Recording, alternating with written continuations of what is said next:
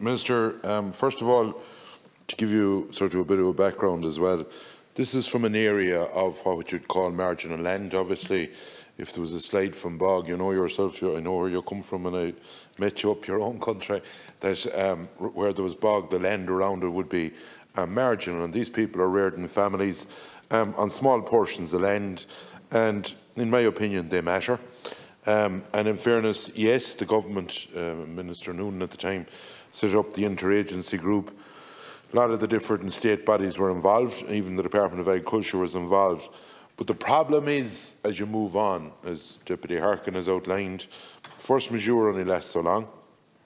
Um, there was a commitment given that there would be a compensation package put in place to try and resolve, and I'm talking about where, you know, the, the, the slide went down and destroyed areas, and there was, look at there was rivers and there was different parts involved.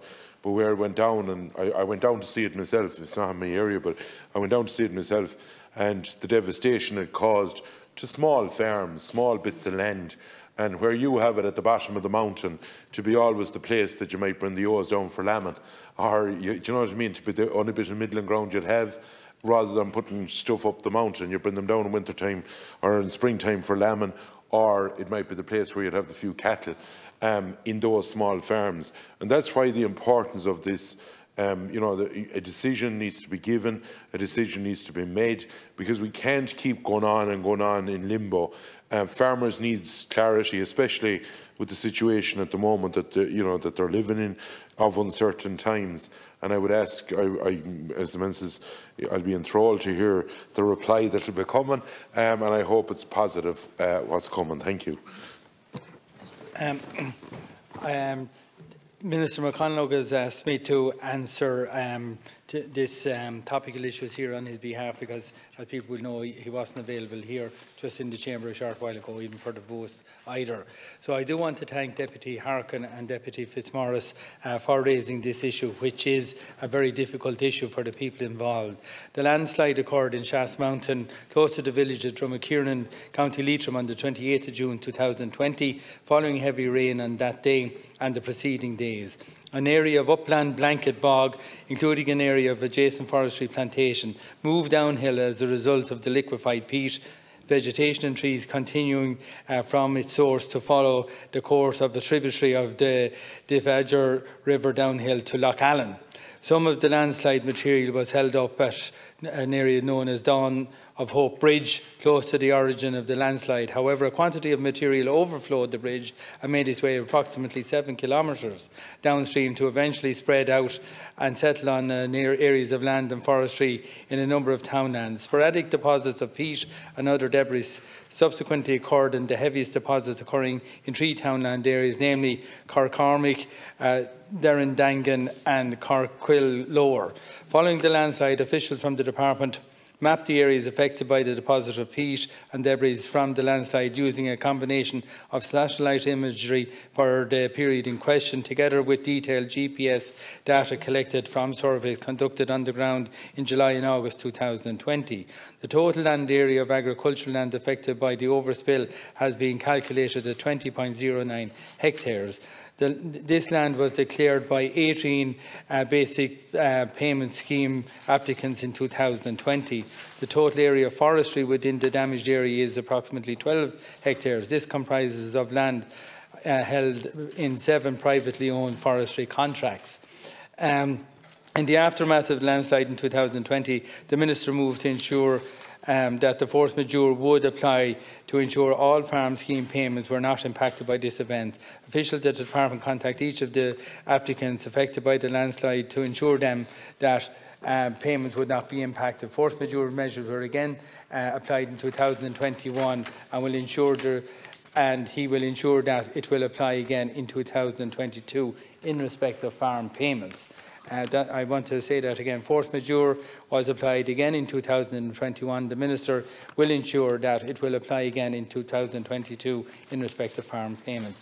In response to the event, the multi-agency group was established under the chairmanship of the Minister for Heritage and the Department of Housing, Local Government, multi-agency group, inter alia, Leitrim County Council, local representatives, Oireachtas members, farm bodies, National Parks and Wildlife, Inland Fisheries, Department of Transport, Department of Agriculture and Marine, and some universities. Leitrim County Council engaged specialist consultants, the RPS group, to undertake a comprehensive examination of the causes of the landslide and the impact it had on the natural and built environment, ecology, water quality and farming community.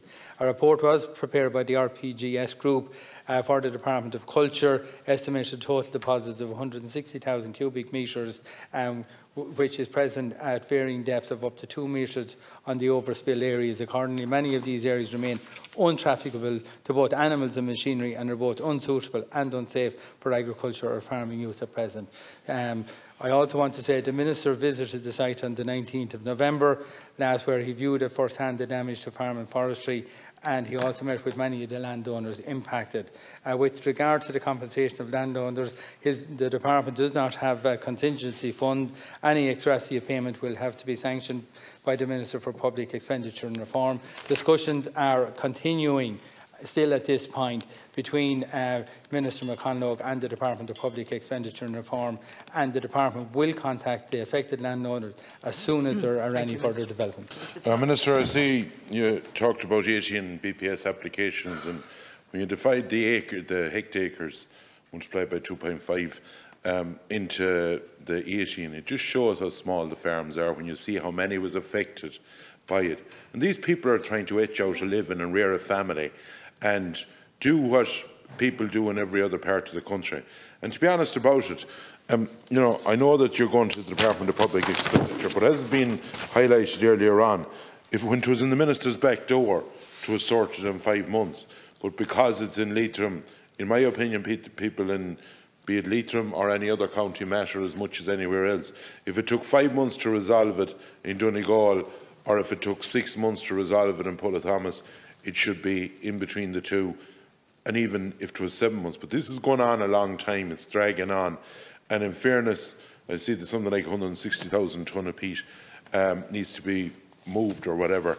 Um, and these people need clarity, they need to know where they're going. And I note at the end you have, you have made, um, or what's talked about, is that in the application for BPS and ANC um, is separate to the compensation uh, claim.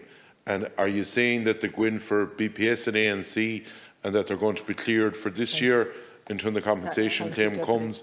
Or what is happening? I'm trying to clarify the last statement in what you had said there. Minister Thank you. And um, the point I was making was any ex gratia payment will require the sanction of the Minister of Public Expenditure and Reform.